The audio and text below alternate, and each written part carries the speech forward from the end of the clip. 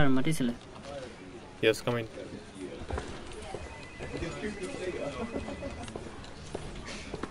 Sir কিবা আছিলে অঁ চ' তুমি এটা কাম কৰা চব এমপ্লয়ক জনাই দিয়া যে আমি এটা মিটিং অৰ্গেনাইজ কৰি আছোঁ এবাউট এক্সপৰ্টিং অফ প্ৰডাক্টছ হয় ছাৰ চ' তাৰ ওপৰত কিবা সুধিব থাকিলে মিটিংটো ক্লিয়াৰ কৰি ল'ব ক'বা দেই আৰু এইকেইটা কমকেইটা এমপ্লয়িজটো দি দিবা।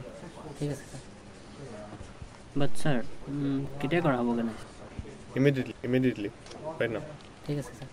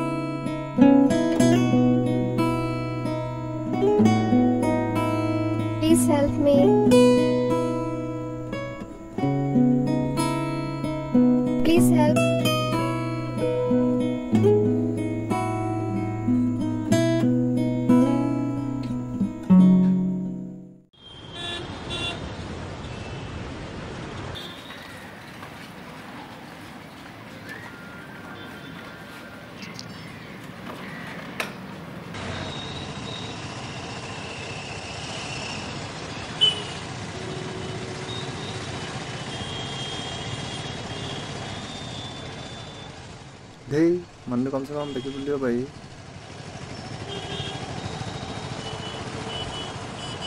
Mm.